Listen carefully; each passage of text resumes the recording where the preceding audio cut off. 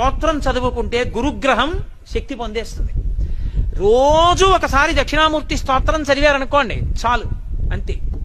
ఆడవనివ్వండి మగనివ్వండి పిల్లలవనివ్వండి ప్రయోజకులు అవుతారు చక్కగా ఉంటారు. ఏమి పెద్ద ఇబ్బంది పడిపోయి భయంకరమైన స్థితిలోకి వెళ్ళిపోకుండా కాపాడుతుంది దక్షిణామూర్తి స్తోత్రం. అంత గొప్పది. దక్షిణామూర్తి దక్షిణాన్ని ఎందుకు చూస్తాడంటే ఆయన మృత్యుంజయుడు. ఆయన ఉత్తరాన్ని కూర్చుని దక్షిణాన్ని చూస్తాడు.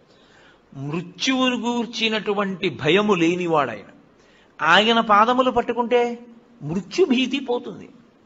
భయం పోతుంది. అందుకే దక్షిణామూర్తి స్వరూపం అసలు సమస్త ఐశ్వర్యము దగ్గర నుండి చదువుల దగ్గర నుండి మోక్షము వరకు దక్షిణామూర్తి ఇవ్వలేనటువంటిది లోకమునందు లేనే లేదు. అసలు మీకు నేను ఒక గొప్ప రహస్యం చెప్తాను.